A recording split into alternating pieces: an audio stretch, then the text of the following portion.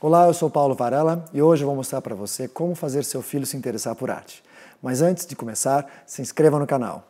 Assim, quando eu postar um novo vídeo, você vai ser notificado.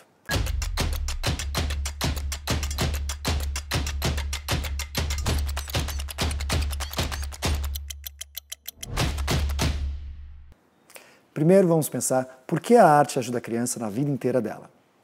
A primeira infância, os cinco primeiros anos, é um momento de aprendizado social e emocional. A arte, tipo teatro, literatura e artes visuais, ensina a criança a expressar os seus sentimentos e a entender o mundo de forma divertida. Ela mostra como diminuir as emoções negativas nos momentos difíceis. Muita gente me pergunta como fazer uma criança se interessar por arte. Eu separei nesse vídeo algumas dicas legais para você. Então vamos lá. Primeira dica: comece com exposições interativas. Leve seu filho a museus e centros culturais que têm uma programação infantil. Hoje em dia, quase todos os principais museus têm um departamento assim. Esses lugares ajudam seu filho a trabalhar em equipe. Na realidade, a arte e a brincadeira andam de mãos dadas. Então, você não vai ter muito problema em fazer seu filho se interessar pelo assunto.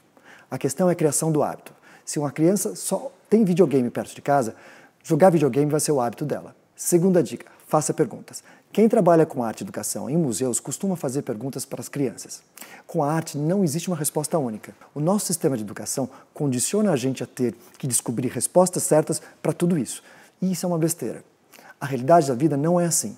Tudo é válido. A vida é cheia de respostas para uma mesma pergunta. Essas perguntas fazem a criança pensar e a se preparar para o mundo. A arte é feita de pessoas reais. Isso faz com que seu filho também se sinta capaz de criar a arte também. Eu costumo falar para os meus filhos que o pintor daquela obra em específico pintava de cueca. Isso ajuda a tirar um pouco aquele conceito de que a arte é intocável. E por último, o estilo da obra pode atingir seu filho dependendo da idade. Adolescentes preferem as obras que falam sobre questões pessoais deles. Já as crianças preferem as obras que são mais interativas e abstratas. Bom, por enquanto é só isso. E você, qual foi o seu primeiro contato com a arte? Você precisa de ajuda para incentivar o seu filho a se aventurar nesse mundo?